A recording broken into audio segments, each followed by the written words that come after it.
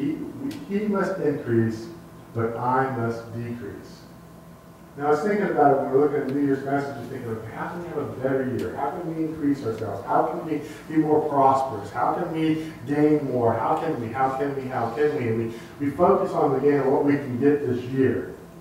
And what I'd like to do is switch that around a little bit to say, well, instead of looking at how much we can gain this year, let's look at what biblically we should be doing.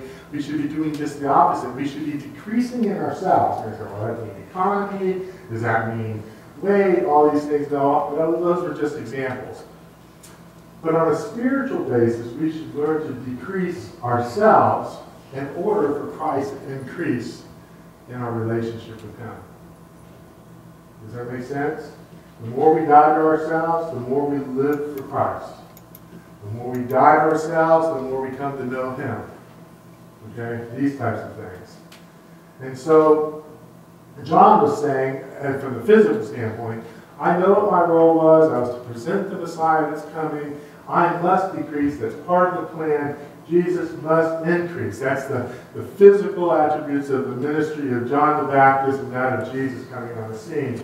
But on a spiritual parallel, if we're going to grow spiritually, then we have to decrease to ourselves and that Christ might yield more in our life for his glory. And so Matthew 4, 18 to 22, to decrease is to increase in Christ. So you see the you see the transition from the physical of John the Baptist and the physical of Jesus and the baptisms that are going on, and John saying again decrease.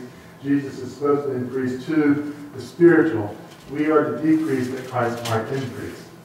Matthew 4, 18 through 22. As he was walking along the Sea of Galilee, he saw two brothers, Simon, who was called Peter, and his brother Andrew. They were casting a net into the sea, since they were fishermen. Follow me, he told them, and I will make you fish for people. Immediately, they left their nets and followed him. Going on from there, he saw two other brothers, James and John, James the son of Zebedee, and his brother John. They were in a boat with Zebedee their father, mending their nets, and he called them. Immediately they left the boat and their father and their father and followed him. What do you see happening here that was the decreasing factor that generated an increase of Jesus in their life? The fact that they left their business, they left their family, they left their home. They left everything that they had, everything they were, everything that made up who they were. Their career, their relationship, their, their, their, their geographical upbringing, their homeland, everything to follow Jesus. And they immediately followed after Christ. The word left there in the Greek, it means to forsook or forsake, omit it, lay aside, and it's that, I mean, that, that our lives are willing, as we follow Christ immediately, we forsake, omit, and lay aside anything that stands in the way of us following Jesus. The things that are closest to us are the hardest. For most, for not most people, for a lot of people, what's closest to them is their pocketbook. Right there. The other one is family. Or homeland or whatever. Whatever God calls us to to lead for Him, when we're willing to, to yield to His leadership in our life, then what happens is that we gain a, a greater understanding of Him and we increase in Him, and He is glorified more through us. So this year, as we're thinking about the new year, what, what are we thinking about? How much more we can prosper, how much more we can get ahead, how much more we can manage things. Okay, that's okay, but that's not the priority. The priority in our lives is how much we can be more Christ-like, how much God can use us more for Him, how much we can become more uh, uh, transformed into the image of Christ, displaying His character, His priorities, all of these things. The only way we can do that is by responding immediately to what He says. And that's what they did here. They left. You know, they said, follow me.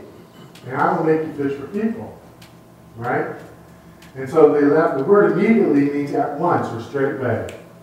Done.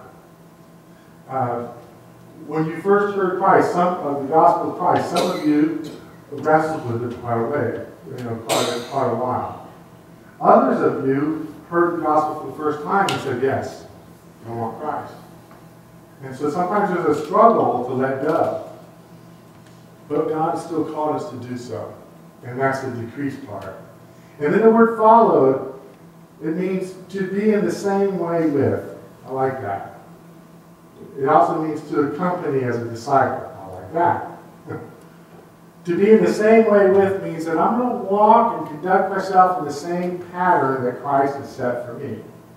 That's the goal. To walk and to, and to be in step of the same pattern of Christ. This is how Christ would do things. This is how Christ prioritizes things. This is how God thinks. This is what God's Word says. This is what God, the Holy Spirit, told me in my own heart that He wants me to yield my life to so that I can become more Christ-like and people can see Christ in me. I can be the light and the salt and person that God has called me to be in this world. To be in the same way with Jesus. Okay? Or to accompany as a disciple. Do you remember when we talked about the the rabbis would say to be a, a, a Talmudic disciple of Christ is the one that would, would, was chosen and called by the rabbi, and they would go through special three-year uh, special training in the, in the scriptures and memorization and all, this, all that stuff. But the saying of the, the, the Hebrew rabbis was to walk in the dust of the, of the rabbi is to be the best rabbi you can be. Well, Jesus was a rabbi. And to walk in the very dust, the very dust that stirs up from the sandals of Jesus, walking in the, in the dirt, that that very dust we're in the midst of too. We're in the midst of Jesus, following him, in step with him, being the same way with Jesus, accompanying him as a disciple. And the product of that would be that he will make us fishers of men. Now that's a quaint little thing, isn't it? We can look at first time we look at John chapter five and the parallel of throwing, casting the net and going into deep waters and, and all that, like have the sign in the back of the sanctuary, launch out into the deep. But the spiritual aspect of becoming a fisher of men is something that reflects something of great importance, the heart. Your heart my heart is not going to desire to win people to Christ on our own. Your heart and my heart only have a desire to share the gospel and help people come to know Jesus because we're walking in the dust of our master, our rabbi, Jesus. And so we, we, we, as we follow Christ, we learn what he wants us to, to yield up for him, Satan tries to throw a curveball and say, you're going to miss out on some real joy. You're going to miss out on life. You're going to miss out on, God's trying to rob you of the fullness of life. That's the opposite of the truth.